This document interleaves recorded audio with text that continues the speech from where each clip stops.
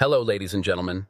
A huge welcome back to everyone for the special weekend edition of Markets Around the World. My name is K2, and as usual, we'll be covering everything from the latest data and macro news stories to the key levels you need to be watching. If you love markets like we do, remember to subscribe and help better educate yourself about how these markets actually work together. So let's talk about what happened in the market and the outlook as well. Let's expand the conversation by starting with the news.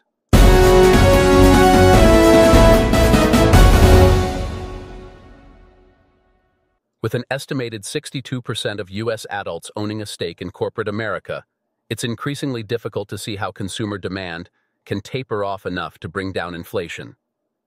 U.S. stocks hit another round of all-time highs over the past week, further enhancing a sense of financial well-being for millions of Americans, which might be complicating the Federal Reserve's inflation battle. 62% of U.S. adults have money invested in the stock market, either individually or jointly with a spouse through direct shares, a mutual fund, a 401k, or an individual retirement account, according to data released this month by Gallup. This is little changed from 2023 and reflects a return to levels that largely prevailed from 1998 to 2008. The lock-in effect in the U.S. housing market is real, but insufficient building over the past 15 years has driven shelter inflation. Higher interest rates contribute to the lock-in effect, but aren't inflationary. Low, 30-year fixed-rate pandemic-era mortgages have discouraged homeowners from selling, trading up, or refinancing, especially with the Federal Reserve keeping rates high longer than expected in 2024.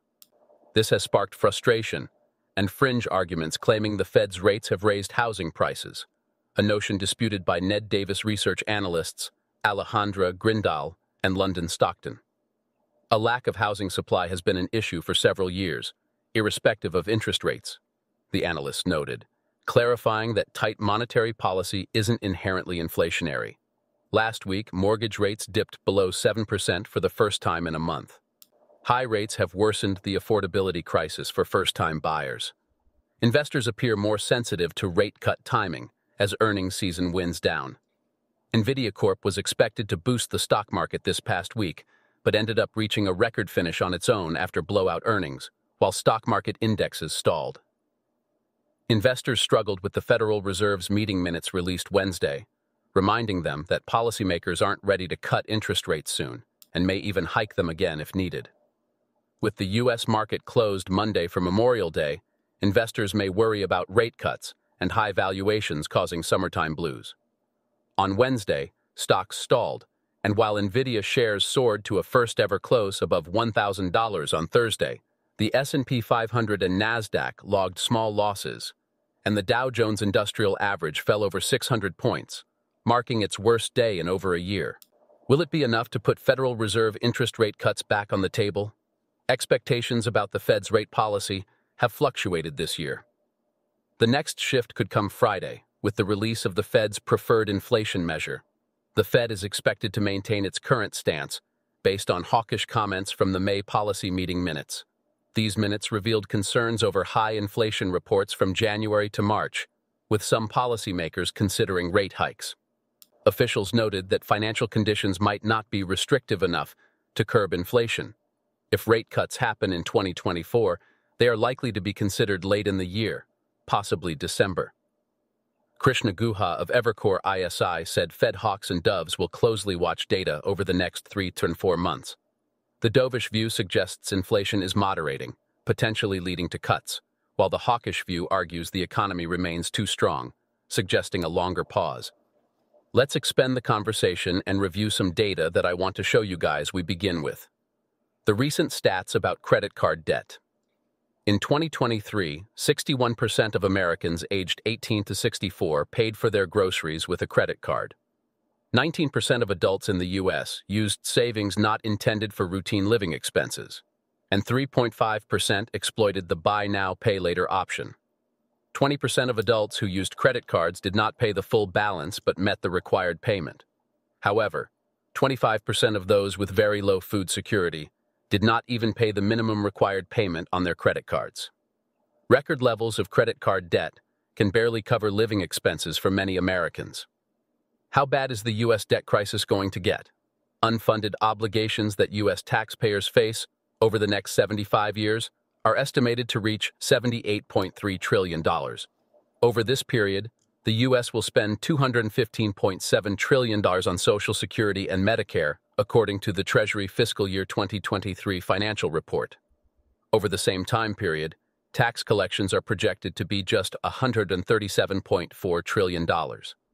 The U.S. Treasury also estimates that the funding gap beyond the 75-year forecast will reach $175.3 trillion. To put this into perspective, this is almost as much as all spending since the Constitution was drafted in 1787, even adjusted for inflation. What's the long-term plan here?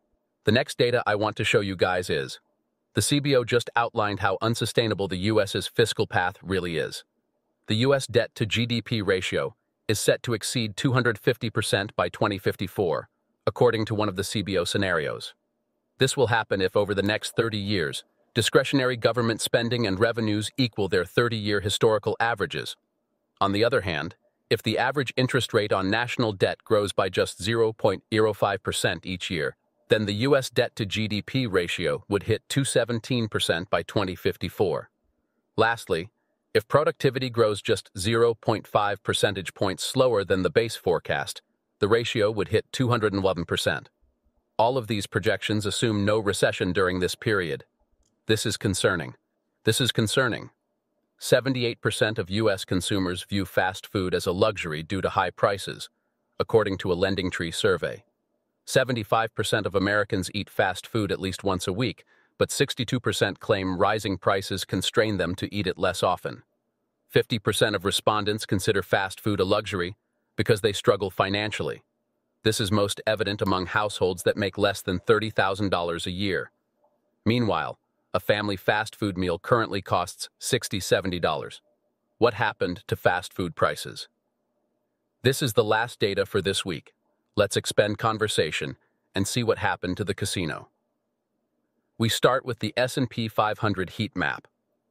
We start with Microsoft was up 2.37%, and Apple was flat for the week, and Amazon was down 2%. My favorite stock Nvidia was up 15%, and Tesla and Meta were up over 1%. Let's check out the Fear and Greed Index. It's currently at a 53 level, which is neutral. I think this week we could see the greed level rise again. Here are the earnings for this week. Feel free to pause the video and take a screenshot if you need it. Let's do some chart. We start with Analyze the SPY 4-hour chart. If the price surpasses 532, it indicates that the bulls are still in charge, suggesting more upside potential. However, if the price closes below 524, my next downside targets would be 517 and 512. Moving on to the QQQ 4-hour chart. It appears that the bulls are still in charge, but a pullback is needed for healthy price action. However, if we don't see a pullback, it suggests that the price wants to move higher. If the price closes above 460, my next upside targets will be 471. On the downside, if the price closes below 449, it indicates that bears are still active. Now let's take a look at my favorite stock, NVDA, on the 4-hour chart.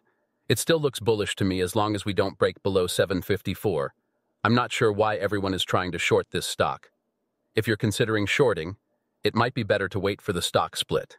After the split, we could see some changes, similar to what happened with Tesla after its split, where it didn't reach new highs immediately. Let's analyze the Tesla 4-hour chart. It appears bearish to me with the formation of a bear flag. However, if the price manages to stay above 176, I will remain bullish and refrain from shorting it. In that case, my upside targets would be 193 and 200. On the other hand, if the price closes below 170, it would be a signal to short Tesla with confidence. Now let's look at the four-hour chart of gold. The price still seems to be under the control of the bears. However, this week, we might witness a pullback to the upside before another sell-off occurs. As I'm reading these news, here are the upcoming events. Memorial Day, Monday, stocks closed. CB Consumer Confidence, Tuesday. Fed Beige Book, Wednesday. Salesforce, CRM, earnings, Wednesday. US Q1 GDP, Thursday. Initial jobless claims, Thursday. Pending home sales, Thursday. Costco earnings, Thursday. Dell earnings Thursday. Core PCE inflation data Friday. All right, ladies and gentlemen, that's all for this weekend's video. If you have any questions, please feel free to ask and put them in the comments below. I'll get back to you as soon as possible. If you found value in the video, please like and subscribe. Thank you for watching, and I'll see you guys later. Bye for now.